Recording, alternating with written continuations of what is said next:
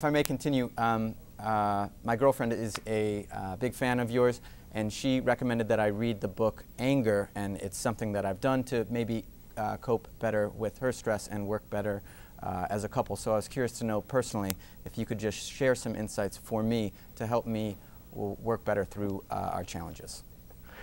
Well, anger is can be a healthy emotion if you release it and move on but hostility is actually a risk factor for cardiovascular illness and even for sudden death. So there's a difference between anger, which is justified, and as a release of energy.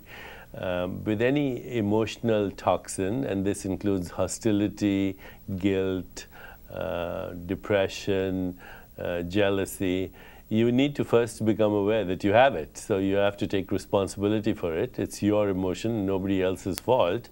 Then you have to learn how to witness it in your body.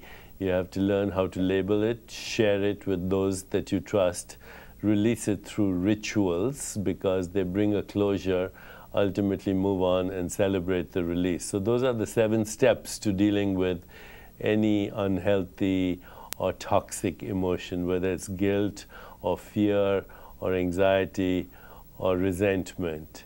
And those seven steps are once again responsibility, witnessing it, labeling it, expressing it, releasing it, uh, celebrating the release. All right, and, and how about uh, coping with someone else's um, stress and anger? What is the best way to deal with that?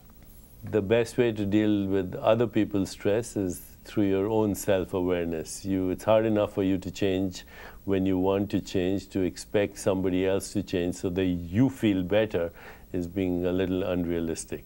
So don't try to change others. All right. Well, uh, thank you very much. I really appreciate your time. You uh, made my week. I appreciate it. Thank you, Paul. Bye-bye. Bye.